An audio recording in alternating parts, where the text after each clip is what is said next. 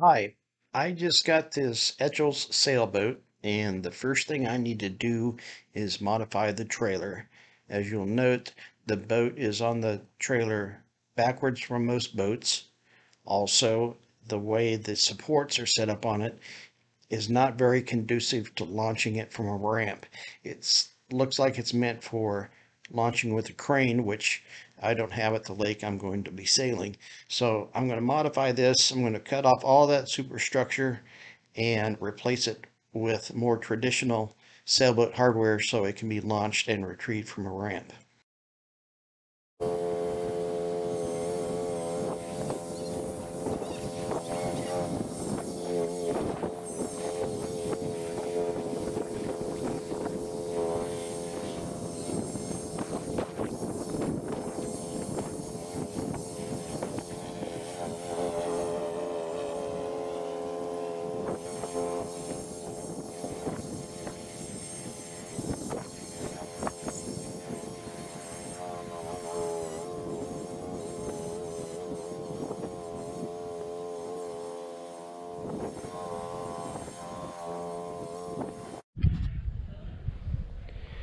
Okay, we just completely rebuilt the trailer.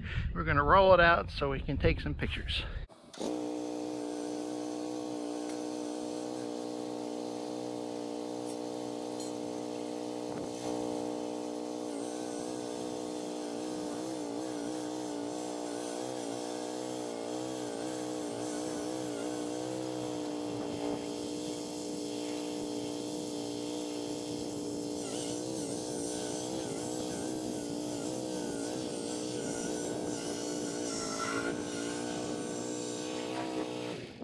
Here we go. What we did to this trailer first off as you saw in the other pictures uh, this used to be on the trailer backwards. It had the bow sticking out the back and plus it had heavy supports across the back and front uh, that prevented it from launching off a ramp like typical. Now here over here here's some of the that is uh, a piece of heavy metal this black part is what was across the back of the trailer. We cut that off. There's also uh, similar things on the front.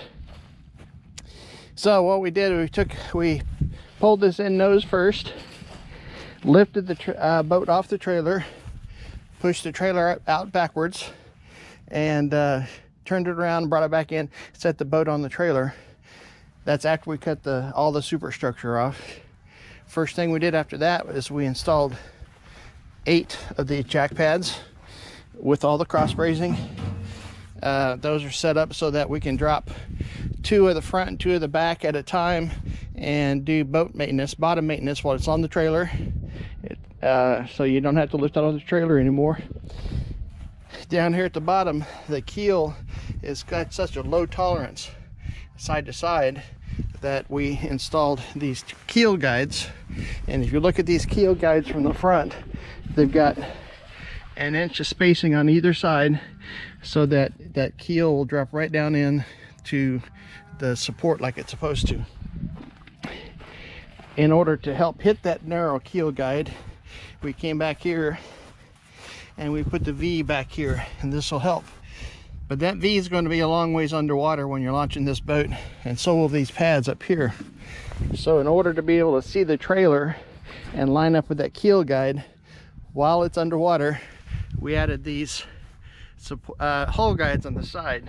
These hulls, hull guides, the pads, uh, distance between them is one inch wider on each side, uh, one inch wider than the widest part of the boat. So that'll line it right up with this keel guide and just slide right in there. Trying to make this uh, trailer foolproof uh, too many of these deep keel boats are very difficult to put on the trailer. Another trouble we had is the hitch ball, the coupler used to be right here. And uh, if you look up, the bow was then sticking 32 inches past the hitch ball. With my pickup, that would work, but it made it a little dicey. Didn't like that. Plus, I couldn't uh, put a bow stop on there So this rusty beam here, we'll have to sandblast it. This is a new tongue extension. Extended the tongue an additional six feet, I think it was. Then we put this bow stop up here so that uh, you know where to stop putting it on the trailer. So that's all set up. We've welded the hitch coupler on there and welded the uh, tongue jack on there.